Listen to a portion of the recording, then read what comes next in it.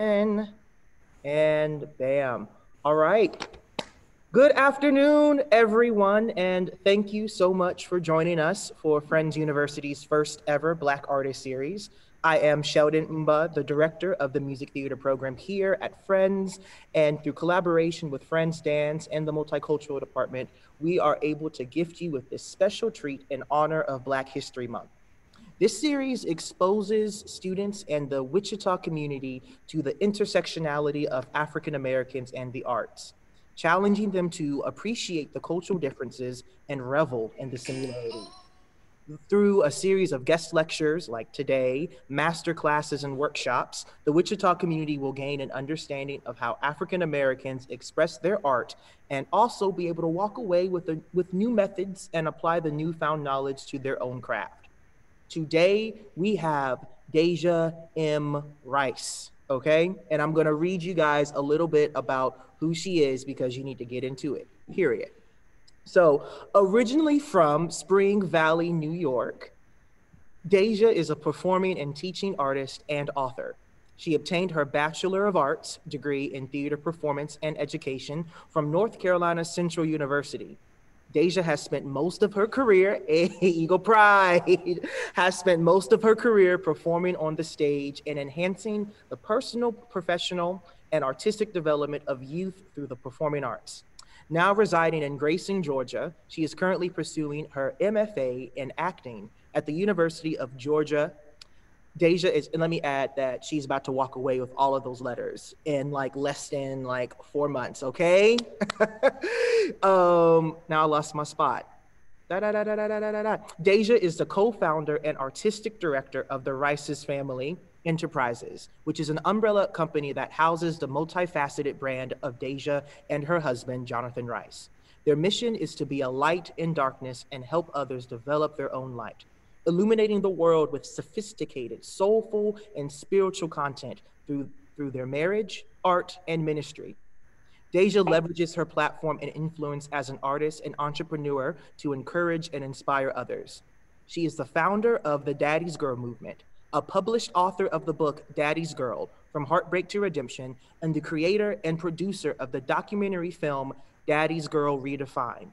You can find more information at www.dajamrice.com, IG Daja M Rice, all that jazz. Okay. Oh my gosh. So before we get into our crafting your career, because even hearing Daja's um, talk, like bio, it's kind of like, oh, you started in theater, you're in producing, you're you're writing books. Hold on, how did you know you were gonna get there? Yeah. Before we get into that, some quick housekeeping rules. Yeah. Um, we encourage everyone to always have their camera on, but we completely understand. It's just nice to see faces. But uh, make sure that your video, your audio is off. Yeah, we don't need any feedback or any extra sound. Um, at any point, if you have any questions for Daja as we're going through this, please type them in the chat. Or if there's a moment that we stop and we can accept questions, we'll let that be known. So, without further ado, I'm gonna pass it over to Daja. This is gonna be uh interview conversation conversation type of approach of things. So really laid back, really informal, but um we are happy to get things started. Let me go ahead and pin you so they know who to go to. Okay, awesome. Daja, anything I missed to, to, to speak about you about?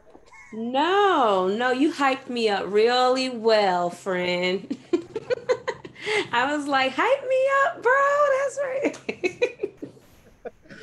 oh, I love that. So, biggest thing that I think would be a great place to start is all right, you're an undergrad. Can you mm-hmm. talk about your story from how you had this interest with performing and how that led you through to pursue it as an educational, as an academic endeavor, and mm-hmm. then going professionally, and then just like an overview about that would be really great to start us off. Yeah, I know. I, I hate saying it this way because it seems so cheesy when people say stuff like this. Um, disclaimer, but um, I really feel like theater saved my life. um, and the reason why is because before I went to North Carolina Central University. to pursue my Bachelor of Art in Theater, I was bumming it, y'all. Like, I was sleeping on my grandmother's couch. I didn't have a job. I was just, you know, living off pipe dreams. But finally, I woke up and said, you know, yeah, I'm I'm I'm bumming it, and I want to do something more with my life because I can do more. Um, and so my mom, she was living in North Carolina at the time. I um, had moved back to New York. I didn't live in New York all my life, but by this time I had moved back to New York. Um, and I auditioned for AMDA, the American Musical and Dramatic Academy in New York, um, what some people call SCAMDA, but maybe I shouldn't say that on video. Edit that part out. Um, but um, so I got into that uh, program, and then I wasn't able to afford to actually go. I wasn't able to afford to go to the New York um, Conservatory or the LA um, bachelor's program. So I said, I got to do something because now I've had this revelation, right? Like, I am more, I can do more, I need to do more. So I said, well, my mom lives in North Carolina. Let me see what programs they have in North Carolina and I applied to many, but North Carolina Central University got back to me. I did some research and saw that their theater department, though small, was doing amazing things. And so I decided to go there. And when I say it is one of the best decisions I've ever made in my life, because it reminded me of my active purpose. And when I mean what I mean by active purpose is that I always knew I wanted to be a performing artist. I grew up singing. I've sang all my life. Um, but going to school and being put in within this structure and within this frame of you not only dream about producing, you not only dream about performing, but you are a performer. Day in, day out, you show up and you perform. It really forced me to become active in my purpose um, and active with a very clear um, focus, active with a very clear goal. And so, yeah, um, one of the best decisions I ever made in my life was to go to school for theater. And I think um, the biggest thing, could you touch a little bit more? And you talked about, okay, so we always talk about like money shouldn't be an option when it comes to dreams and whatnot. So like we don't do AMDA, but we end up going to this small knit university Mm-hmm. And can we talk about that experience? Because it's a little similar to how we are at Friends, as in like our department small, mm-hmm. tight knit. It almost feels as if, okay, does anyone even notice what we do over here? Oh. Are we even gaining anything from being in these mm. small places? Yeah, we can look and we can go back and forth because I know we got stories. But... Yeah, we got stories. but one thing I will say is I'm going to start with the obvious, right? When you are a small theater department, um, you have a lot of things working against you. Um, number one, you're not large in number. Um, number two, you um, are in the performing arts, which doesn't get as much respect as other programs. Um, and then for me and Sheldon, um, or sorry, Mr. Imba, Professor Imba. Um, for us, we were at an HBCU, which, if any of you don't know, that's a historically black college or university. And so at an HBCU, not only were we a small department, small in number, so we weren't, you know, so it was so it was understood that people didn't notice us as quickly as maybe the law program or um, more of the athletic, you know, tracks that they had there we were um, also uh, all black and all black program. So, or predominantly black program. So that was working against us as well. Because historically black college universities already don't get a lot of funding. And to take that funding and put it into the arts is almost financial suicide, is the way they look at it. um, because people don't look at the arts as a sure thing. So that's what you guys have working against you is that people don't look at the arts as lucrative. So they don't, they're not as quickly to invest in the arts. However, here's the good things that you have working for you. um, you are small in numbers. There is so much opportunity for leadership. There is so much opportunity for in your little small net for you to be seen. You will get more performance time. I know that's one of the things that I really took advantage of being in a small department is that I didn't have a lot of competition. um, and although there were others there, um, I think uh, Professor Ember will agree with me when I say that I presented myself as someone who wanted to work, and my professors let me. Um, and they found not only a talented artist in me, but a dependable artist in me, and they put me to work. Um, and when I wasn't on the stage, I found community theater programs that I could be a part of. And that's another thing of being a part of a small um, educational institution. They're normally pretty rooted in the community. Um, and if not, that's something that you as students can start to try to implement and, and try to expand within your department, right? But our department was pretty well rooted in the community. And so all of the community theaters knew about NCCU theater and I was able to go to those places and say, "Hey, I'm a student from NCCU and I want to get some outside work experience." And those people, those people put me to work. But not only that, because I presented myself as a presentable artist, not only did they put me to work within the department, but when traveling opportunities came up, when um, touring opportunities came up, we got to travel abroad my name was one of the first names to get thrown in the hat because there's not a lot of competition around me so i have a chance to really really just allow myself to shine i didn't have to fight anybody for it all i had to do was just show up and and and show up as my best self um, every time and all of these opportunities that at a bigger university a larger university that you probably would have to, you know, fight and scratch for. I didn't have to.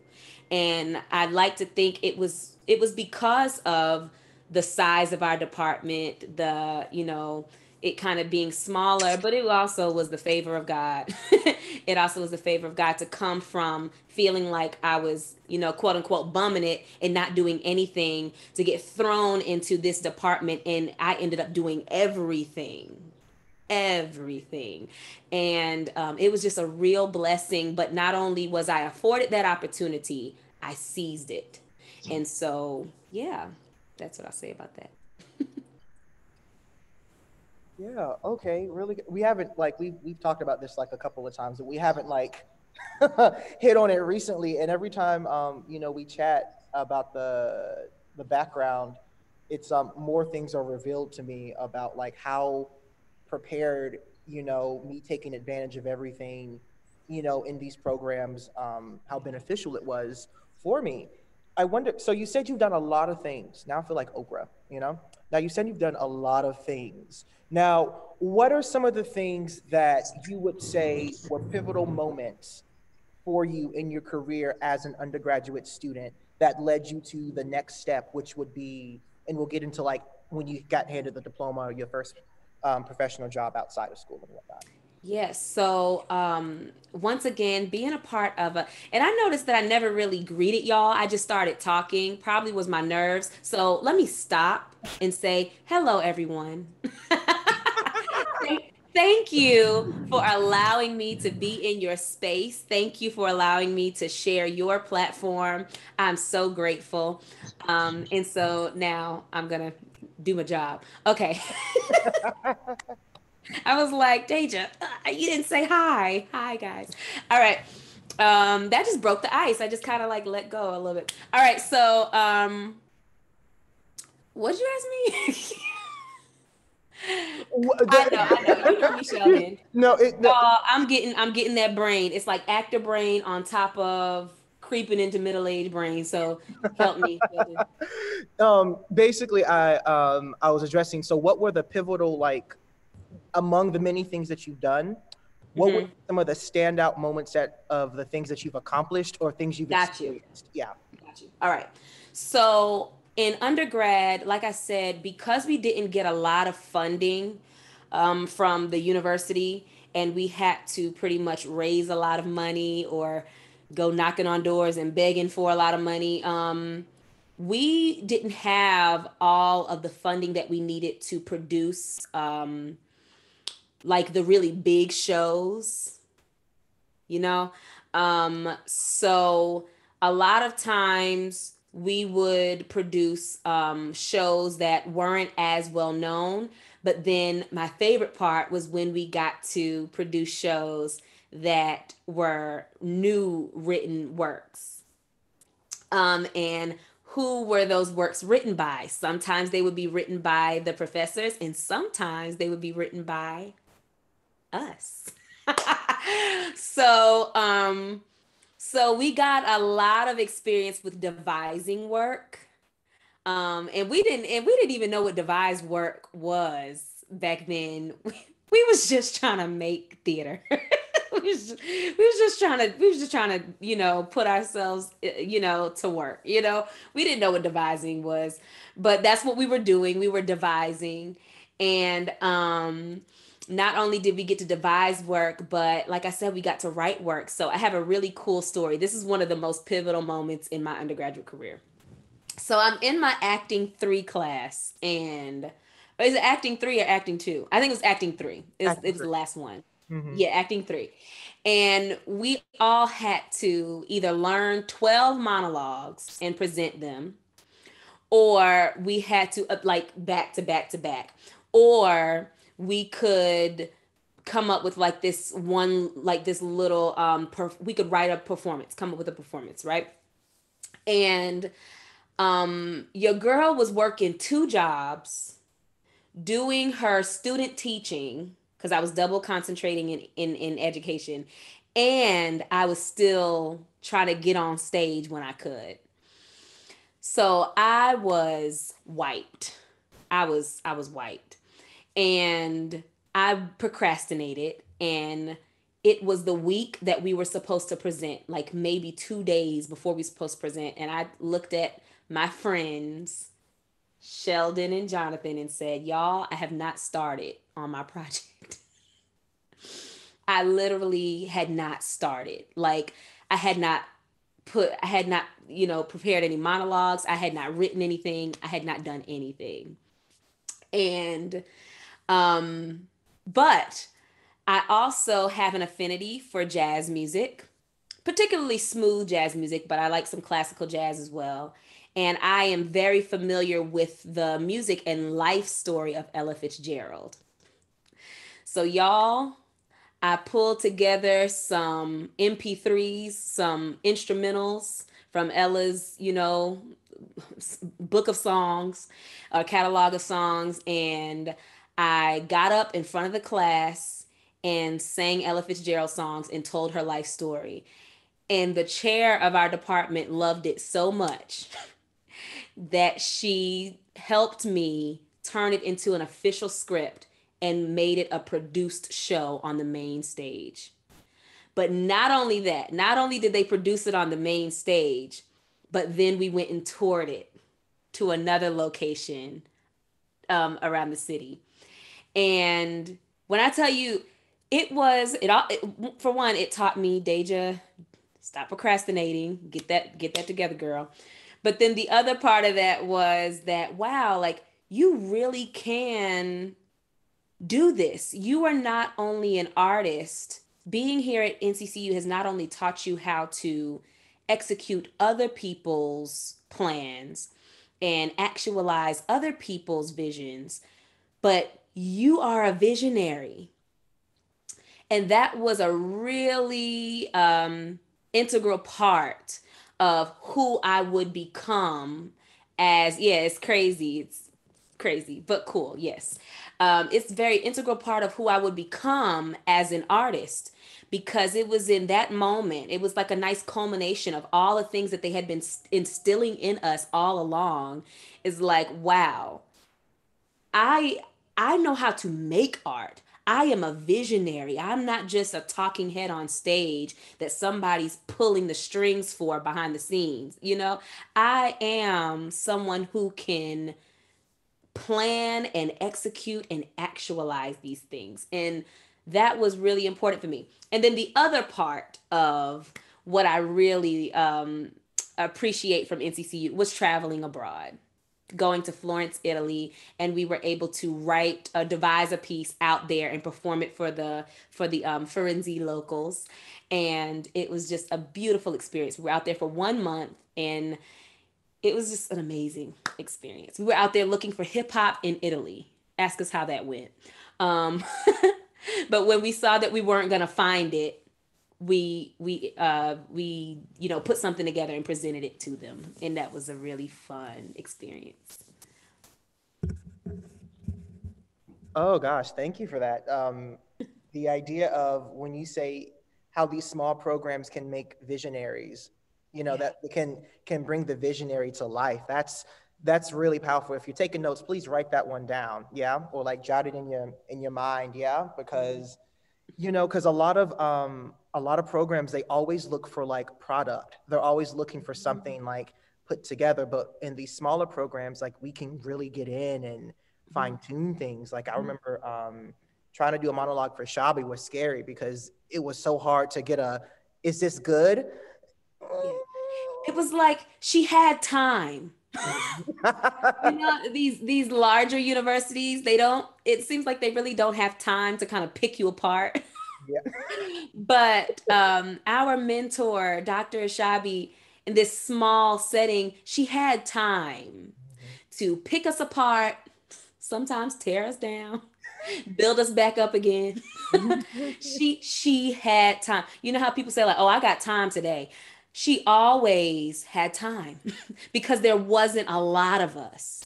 And so she always had time. And so, yeah, I love that. Um, Sheldon, we didn't focus as much on product as we focused on process. And so I know I'm kind of jumping ahead, but just to show you how it all connects. So you skip ahead years and years later, and we're in a pandemic and artists are feeling defeated and they're feeling discouraged because they feel like they can't make art and you have a group of people who have come out of you know this training where they're constantly affirming your process and they give you applause for your product but they're constantly you know helping you build your process and affirm you in your process and when you come into a pandemic and somebody tells you, oh, you can't make art, you laugh at that. What? it doesn't matter where I am, it doesn't matter what I'm doing. I am who I am. My process doesn't stop just because I'm not able to stand up in front of thousands of people. My process doesn't stop just because I'm not working on a multi million dollar movie. My process doesn't stop just because I can't get in the classroom physically with my students. My process does not stop and that's a lesson that I learned way back then. that's what was being instilled in me way back then. Why? Because we were in a small setting and they saw us and they had time to really, really work with us. Yeah. No, no, good stuff. So now, like, my question is since we're like looking ahead, so that's like the preparation that you got. What mm-hmm. was the first step? Because I recall that it was always about, okay, got to audition. What's next? I got to book a job, any job, hire me, you know? So, how did we start discovering, maybe not even um, consciously, but subconsciously, that we are these visionaries in these mm-hmm. programs, that we, we are not just strings. I like, I love that analogy, just being controlled by other people. Mm-hmm. Now, how do we take that and then get ready to graduate, and then get ready to enter the workforce as a performing artist? You have your plans and you have your ideas about what you would like to do, but you leave room for surprises. You leave room for, for me, you leave room for God to surprise you. Um, when I was getting ready to graduate from undergrad, I was stressed out. I remember I was working with a beautiful, beautiful man. Um, he is such a pillar in the Durham, North Carolina community, Mr. Wendell Tab. He was um, the person who um, allowed me to come into his classroom and um, do my student teaching with him. And I remember one day we were sitting at the we were sitting at one of his desks in his classroom, and he asked me how I was doing, and I just started bawling. I just started crying and saying, Mr. Tab, I don't know what I'm gonna do. I don't know. I just feel like I've worked so hard to get to this point and now I have no idea what I'm gonna do. And I remember him just, you know, building me up and telling me, don't worry, like you're talented, something is gonna come along. Don't put so much pressure on yourself. But you couldn't tell me that then. so I ended up getting a position that I had not even thought about. It was, y'all, when I tell you, it was nowhere on my radar, it was not in my journal.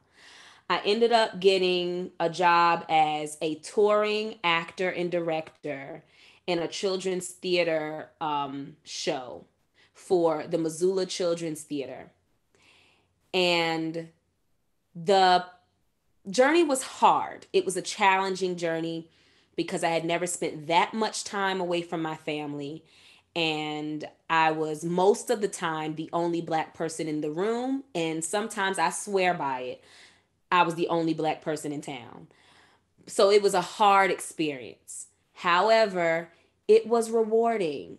I got to see places that most people in this nation probably have never even heard of. I'm talking about population of 93. And you're going into this small town and you ask a little girl, "Well, what do y'all do for fun here?" And she looks you in the eye and she says, "We wait for you." That was the most gratifying, um, humbling, and rewarding experience. Now when I look at it, when I was in it, I was I was I was going crazy. But now that I look back on it, that's what leaving room for God to surprise me did for me. So that when I would go to a graduate program and I am the only Black person in my cohort, oh, I was ready. I was ready because I had already been through a similar experience, probably a worse one. you know, if it's a matter between good and bad, it was a worse experience. But that's what yeah that's what that's what i that's what i had to do at the end of my undergraduate experience. It's not what i wanted to do. I didn't want to leave room for god to surprise me back then.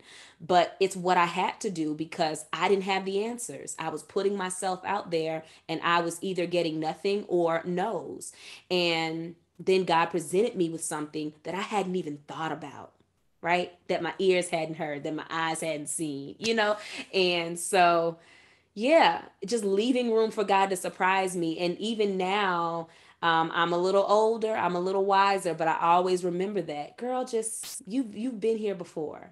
That's what I'm telling myself now. I'm getting ready to graduate from my graduate program in May, and things are looking a little blurry again, but I'm like, girl, you've been here before. Leave room for God to make up the difference. Do what you can, let God make up the difference. That's it. No, that's that's good stuff. Because again, like, wait, I want to know exactly what's the next thing. I want to know. I want to know. I want to know. Mm-hmm. And I think you you phrased it beautifully. This idea of sure, make your plans. Sure, have your goals and everything, but leave space. You know, leave space for God because it's one of the things of like, you know, um, taking it from this process of like we're artists, you know, we have control over our life to realize that it's like we have a little control. just a little bit. Just a little bit, just a little bit. But what we do have control over is that perspective and is that work ethic that we have when we do have that um yeah. and you just have time. to you just have to be consistent with putting that out there putting your best foot forward and trusting that what is for you is gonna be yours it's already yours it is already written the things that are concerning you I, have just been um kind of you know building myself up on my on my most holy faith you know i've been reminding myself that what is concerning me has already concerned God. Oh. It's already been written. He's already thought about it. He's already thought it through. Literally, what is supposed to be yours is already yours. So, yes, of course, make your plans visionary, write it down, make it plain, you know, do all the things, but leave room for God to do those things that you have not thought about.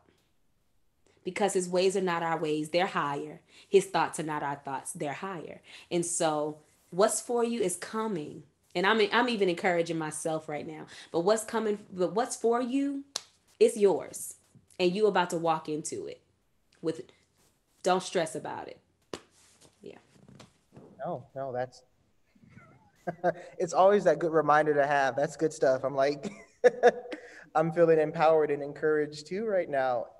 And and now I, I want to like so all of this happens. So what made us, not us, I always say us and we in like the it's classroom. Us. It's us. Yeah, yeah. But I guess more specifically in this big chain of link, what made your link, what made you um, want to go into producing and and writing and and like directing and outside of the standard of how we might envision ourselves in undergrad of like oh i'm going to be on tour like I'll see Daja going by this way um, and into the woods, being the bomb bomb witch. I'm over here gonna be tapping on 42nd Street. We're gonna be passing. We're in completely different spots now. So yeah. like, I wanted to know what was your journey to writing the book, to um, producing, to mm-hmm. directing.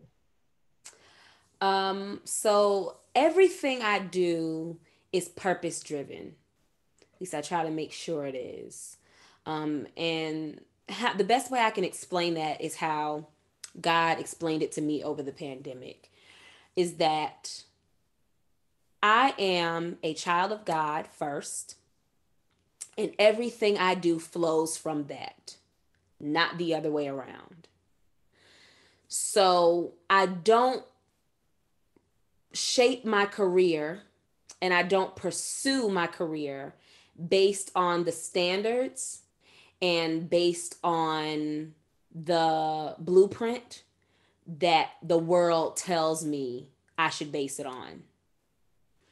Um, and when I mean the world, I'm not talking about like the world versus the church. I'm just talking about the literal world, the way that things have kind of been, you know, um, laid out for us in this industry. This idea that you got to take anything. Absolutely not. Mm-mm, no.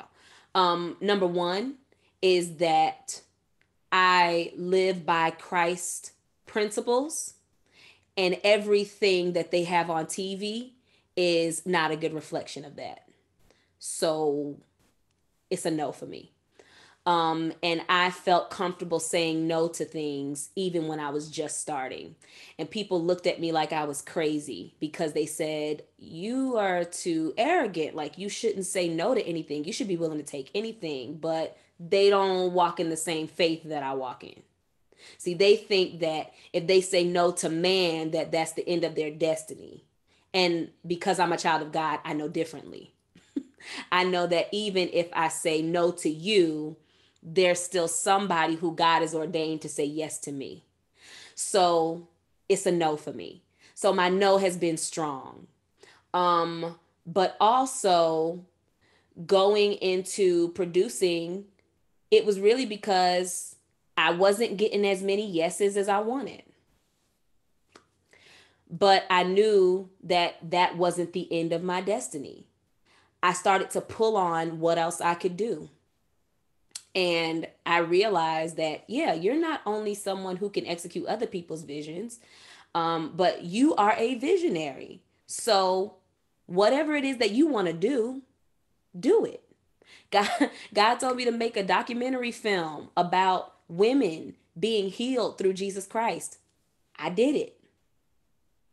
I did it. You know, and, and it and it felt crazy in the moment because I had never made a film. I knew next to nothing about making a film when I did it. But I didn't have as much experience with filmmaking then as I do now. But I did it. Not knowing that it would become something that I was really passionate about and loved.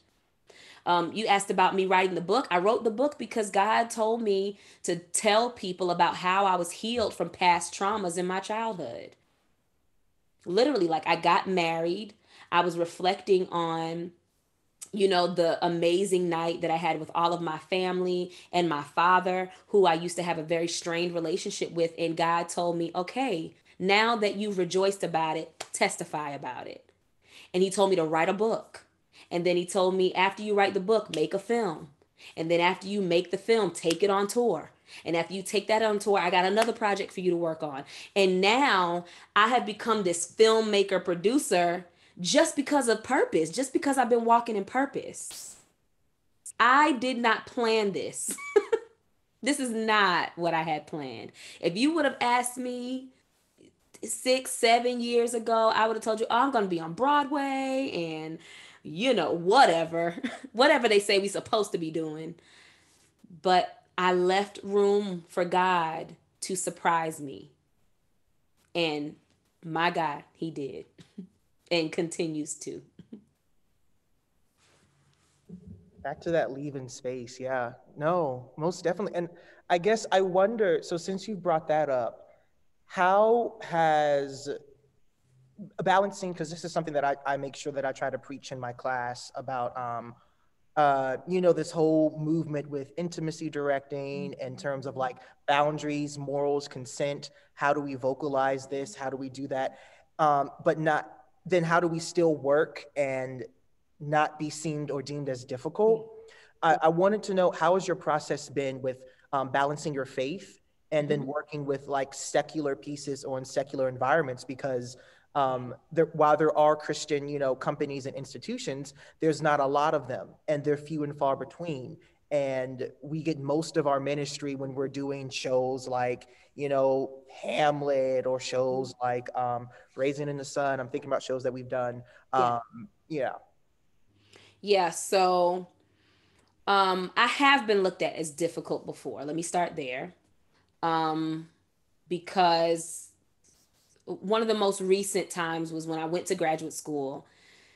They had selected the cohort um after they had to select it, they had selected the cohort after they had already selected the season.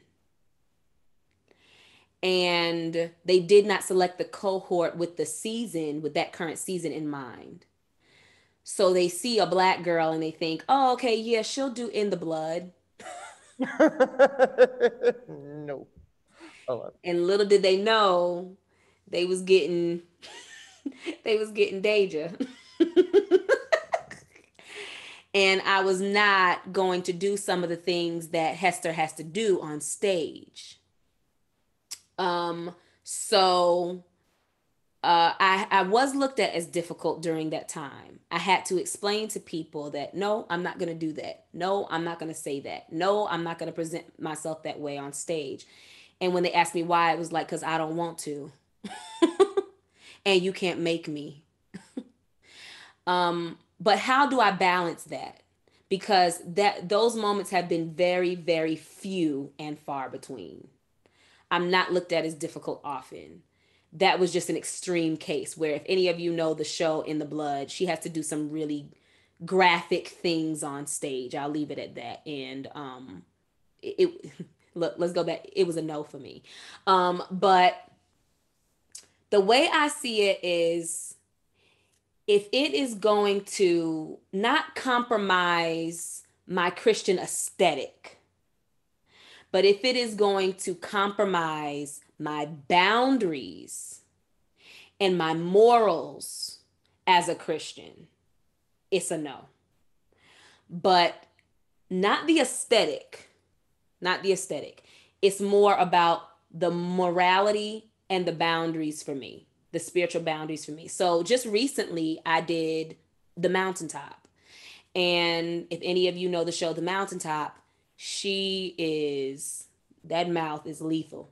She is dropping F bombs. She is, I mean, she is going for it. But, and, and I'll be honest, I battled with it. because for so long I had said I don't accept roles that have a lot of profanity or vulgarity. Like I don't accept those roles, but something kept pulling me to that role. And what I found was that my desire to tell that story in this climate, in this racial and social climate of America, it far exceeded my desire to protect my image as a Christian woman. I found ministry in the role. Um, just finished writing my thesis paper on it. So, yes, I found ministry in the role and I leaned on that. I led with that. And when I realized that I could find ministry in even a role that I felt like was grotesque and a little risque, I just held on to that throughout the whole process. And that was my focus. Um, but that doesn't mean that once they yelled cut for the last time and said that's a wrap, that doesn't mean that I'm gonna go home and start, you know, doing all the things that Camae did. I mean, no. and if somebody was to present me with that role at a different time in my life, it might it might be a no. I don't know, but it's I just really feel like you should be spirit led in everything you do. Lead with purpose. If you feel purpose for you to do something, if you feel spirit led to, to do something, do it.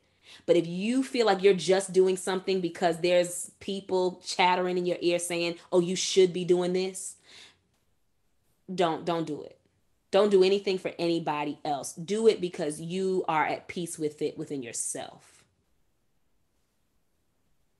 I think what you when you mentioned the the Christian aesthetic, that is something that is so extremely powerful because I know, um, and I'm not speaking on um, anybody, but I can only imagine, um, you know, at a private Christian university institute, there's this thing called image. You know, like there are certain things that we can produce, certain things that we can't produce, no matter how much of a case we try to build it, just because mm-hmm. of that type of aesthetic, which is, you know, which is the nature of the thing. Um, but to know that even as a Christian artist, that like the aesthetic and your morals, mm-hmm. something different. Oh, um, I want to, I want to, can I answer, can I answer that? Yeah the Christian aesthetic, what I'm talking about when I say the Christian aesthetic is how you are seen, how people see you when they look at you, how you sound, how you move, how you physically appear, how you look. What do people see when they see you? That's what I'm talking about when I see the Christian aesthetic. So if you go to, you know, a Church of God in Christ conference, you might see a lot of big hats. Oh, some uh, so we got somebody that's COGIC in the room.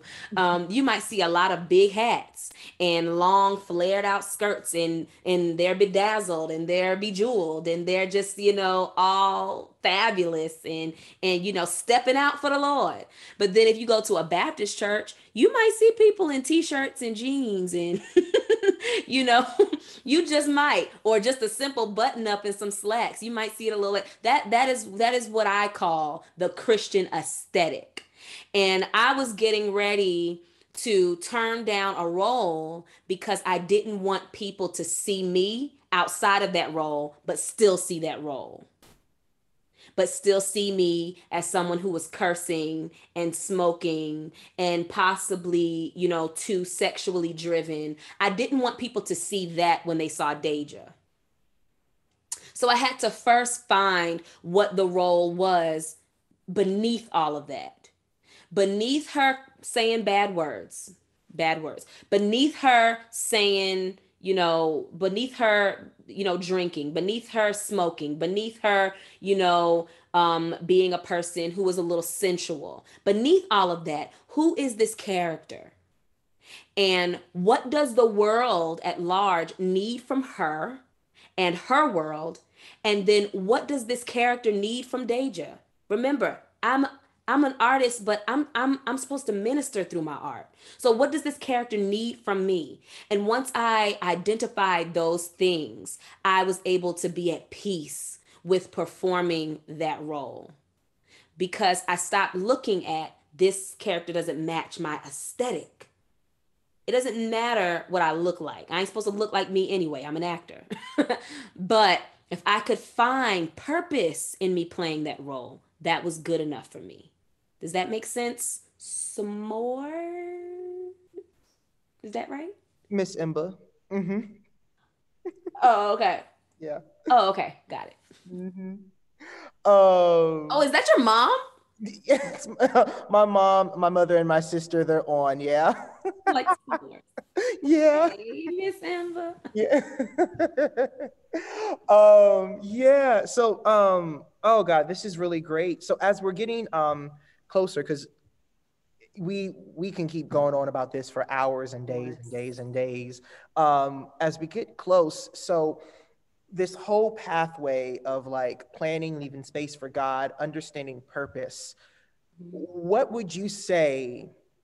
Um, wh- what would be, how do I phrase it? The processing or the sequencing of preparing for life after grad school. I mean, not after grad school, after undergrad, after schooling, after a chapter in our lives, getting ready for the next phase. How would you sequence in terms of like preparing and then in mm-hmm. that preparation allowing space for God? Um there's going to be a lot of compartmentalizing um and and and luckily like I'm going through the process again preparing to get out of graduate school so I can speak to you from where I am now and from where I've been during undergrad. Um, there's a lot of compartmentalizing because you have to be aware that this season and this particular journey is about to come to an end. However, you are still in the right now moment. you're still a student, you're still an undergrad.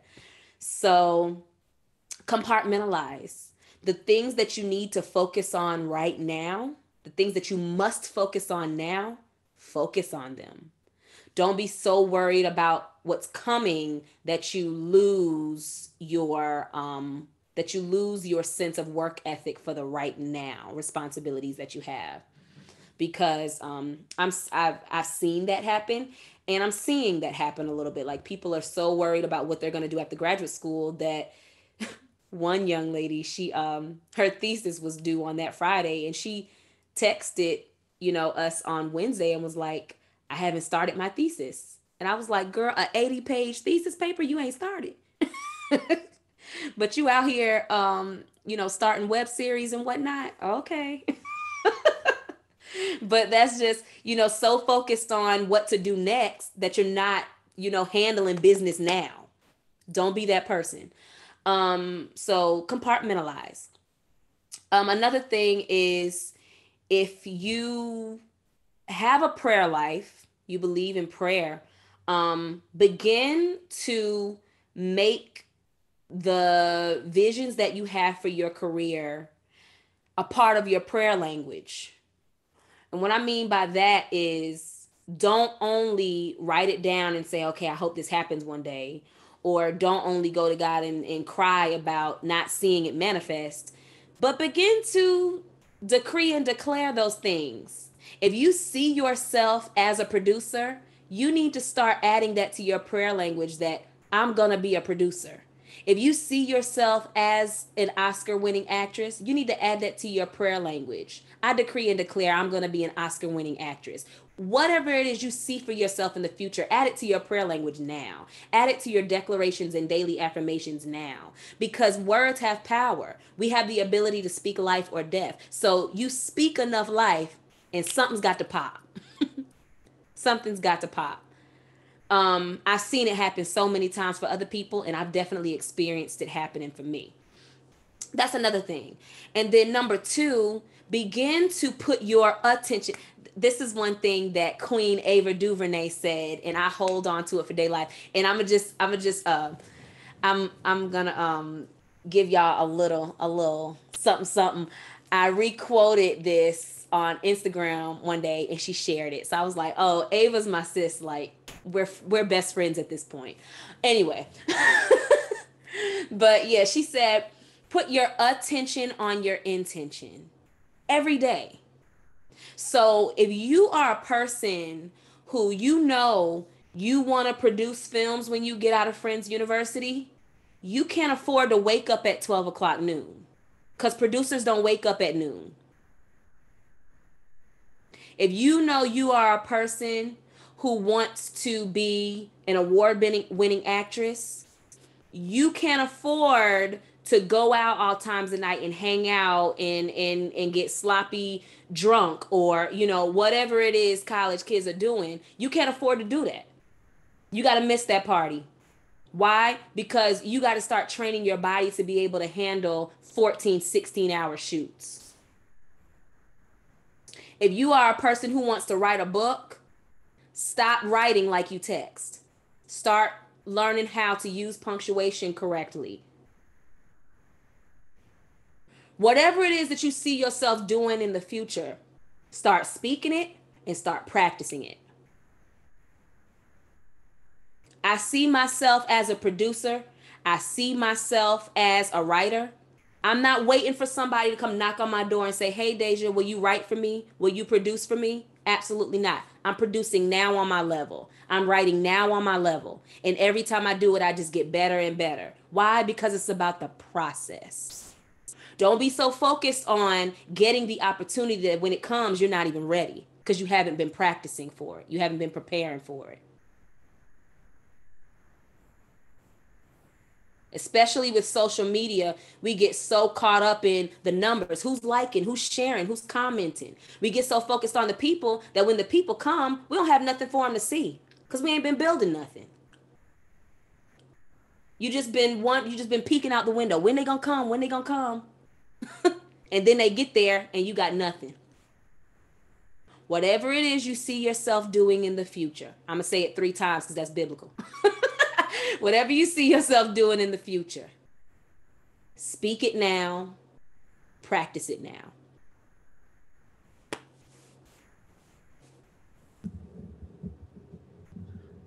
Whew.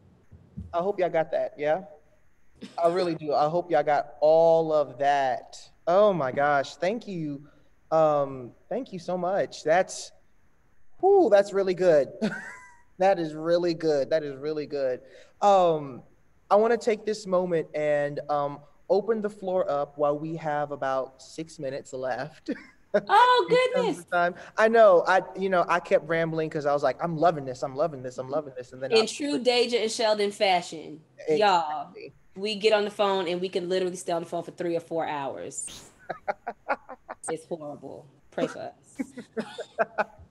so um, I'd like to open the floor up to any specific questions that you would like to um, that you would you have for Daja. Um, you can feel free to pop it into the chat and we can read it out loud. Um, if you don't want it to be a public thing, you can private message me and I can read it. I won't say your name. Um, or you just want to take the audio off and ask.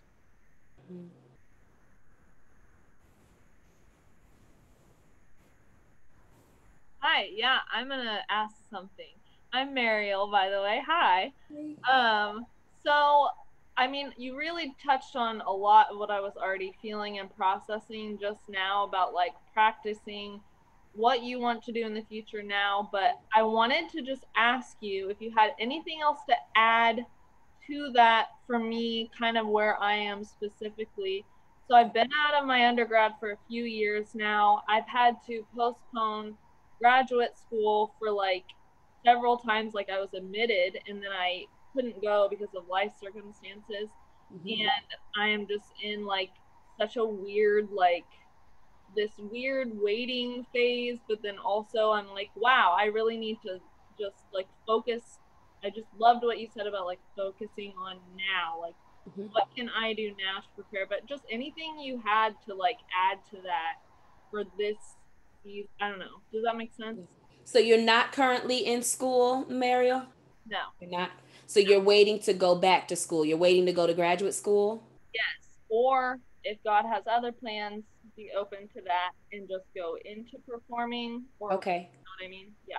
Are there are there um uh community theater uh companies around regional there theater? Are, yeah, it's it's just been weird because of the pandemic mainly. Oh, I see. Okay.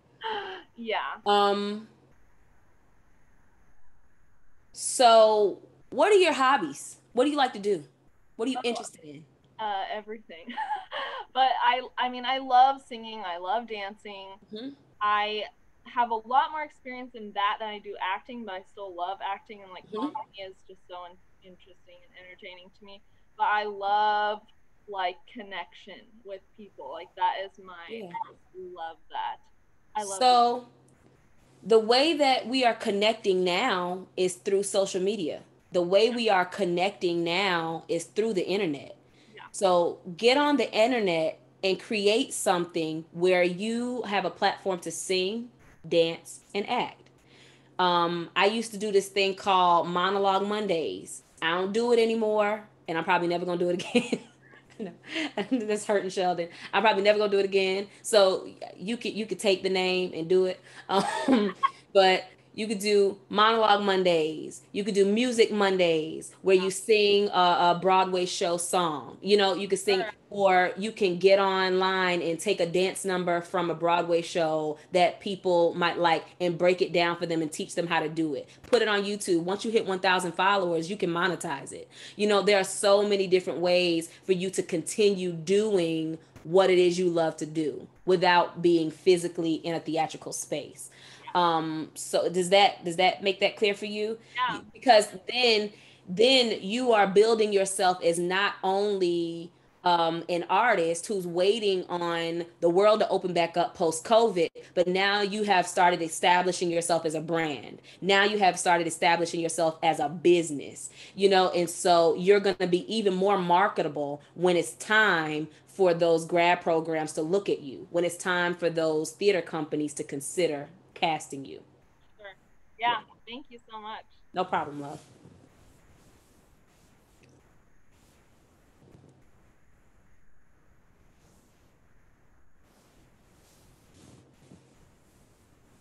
Anybody, anybody? Like I saw your eyeballs like roaming. My eyeballs are like moving too. Anybody? Oh, yeah. Oh yeah, I was like looking around. Oh, that was good observation, Sheldon. hey, it's what I do. Body language. I teach acting. Yeah. Okay. We must have preached real good. Nobody got questions.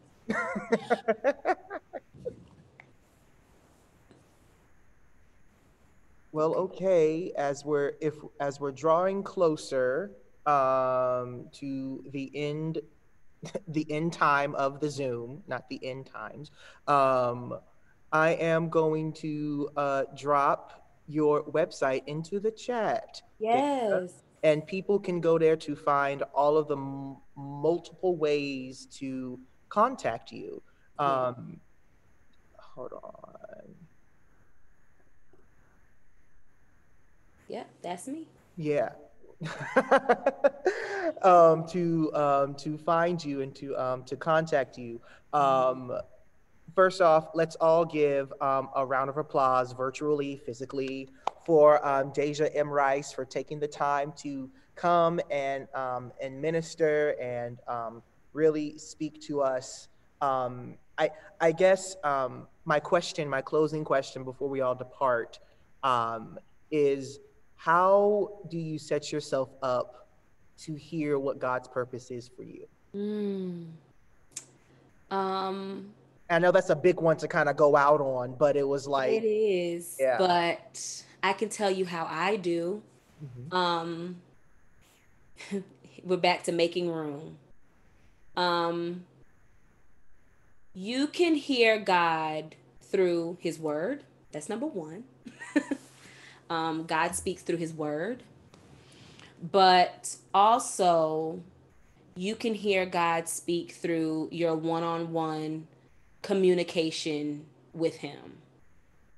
Um, when you have silenced the crowds, when you have silenced your friends, when you have silenced everybody else, and you get in one place with Him, just you and Him, and you get to really, really pour out to Him what's on your heart, and then receive from Him, however He speaks to you, what He wants to, how He wants to respond.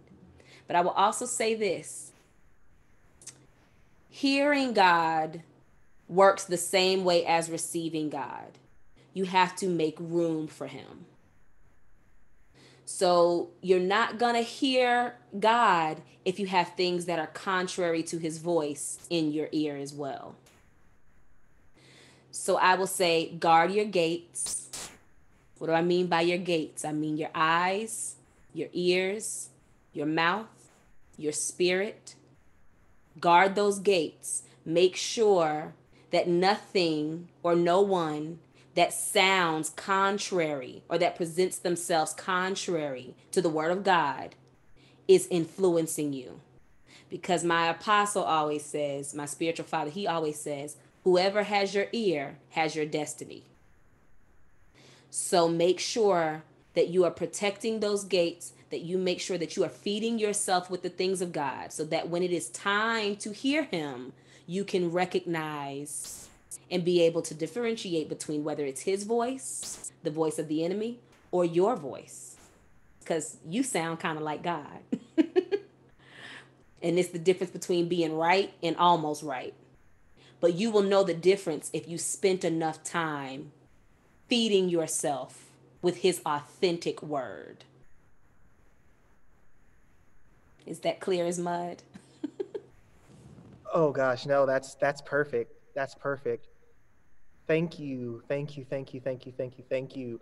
All right. Um this is the part. So this is our final closing event of the first ever Black Artist series here at Friends. I closed the, I closed the thing out. Yeah. Come. Come on. Come on. I closed it out. Yes, okay. you did, and we and we appreciate it so on, much. God. yeah. Um, like always, it's a it's a pleasure to hear from you, Daja. I think you've ministered to a lot of people today, and I think as you said, you even even encourage yourself through telling your testimony. Of course, we overcome by the blood of the Lamb, by the words of our testimony. Listen, come okay. on okay. here.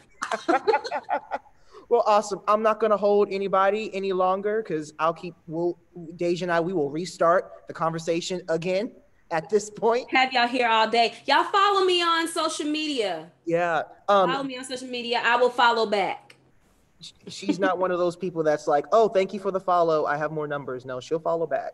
Yeah, uh, no, I'm, I'm, I'm, I'm not all that. Just, just, just follow me. I'll follow you back.